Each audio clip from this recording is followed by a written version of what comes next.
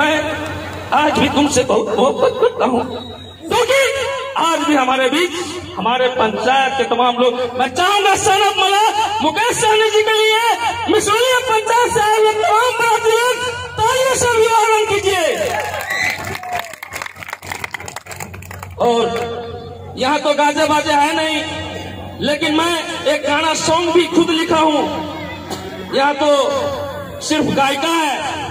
लेकिन अगर गाजा बाजा अगर होता तो मैं गाना सुनाता, जो मैं खुद गाने को लिखा हूँ। हाथों पे मेहंदी लगी है, माथे पे बिंदिया सजी है। अरे नाचूँगा, गाऊँगा यारो, शोर मचाऊँगा। अपनी बहना के शादी में जान लुटाऊँगा।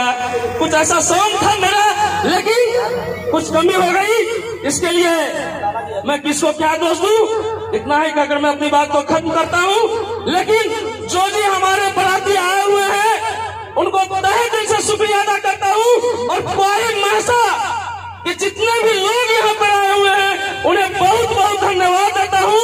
और सौरभ मला मुकेश सहनी जी को बहुत बहुत बधाई कि आप आए और अपना कीमती समय यहाँ पर दिए। जोरदार, आपको मैं काफ़ी अपने पंचायत से आए हुए